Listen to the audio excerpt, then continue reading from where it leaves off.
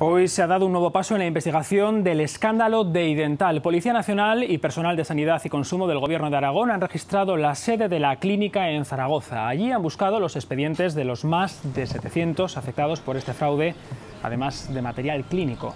Denuncian mala praxis, infecciones y tratamientos inacabados que los pacientes todavía están pagando. Aragón será la primera comunidad que dé atención, aparte de las personas afectadas, a las más vulnerables. Lo hará a través de los departamentos de Ciudadanía y Sanidad, en colaboración con la obra social del Hospital San Juan de Dios y el Colegio de Odontólogos las personas a las que se les haga la valoración y además después habrá una propuesta de tratamiento y se les hará también el tratamiento, siempre hay que tener en cuenta que será un tratamiento que responda a cuestiones de funcionalidad, es decir, lo que necesita esta persona para poder hacer una masticación, para poder digerir bien los alimentos y también a razones, obviamente, estéticos sociales. Son las primeras consecuencias de un escándalo que esconde verdaderos dramas personales, depresiones, enfermedades y miedos de unos pacientes que confiaron en lo prometido por una publicidad agresiva y engañosa. Este lunes en el programa Objetivo analizaremos la situación delicada que atraviesan estas personas.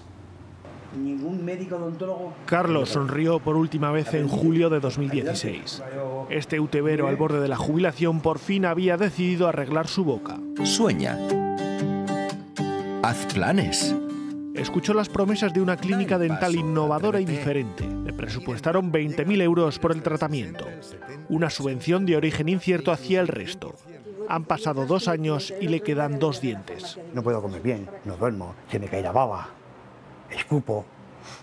Hay veces que no hablo bien, me da vergüenza salir a la calle. ¿Quieres que me ría contigo? ¿A que no tiene gracia?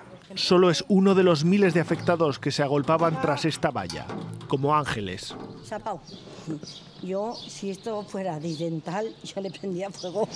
Los propios trabajadores le confesaron que nada marchaba bien. Me decía Ángeles, te voy a decir una cosa, hazte análisis porque aquí no sabes lo que está viniendo. Y se está viniendo de todo, de todas maneras. Tras destrozar cientos de miles de bocas en toda España, Idental cerró las clínicas este 2018. Lo primero es curarlas. Después buscaremos responsabilidades y culpables, pero primero hay que curarlas. El caso ha llegado al Congreso de los Diputados.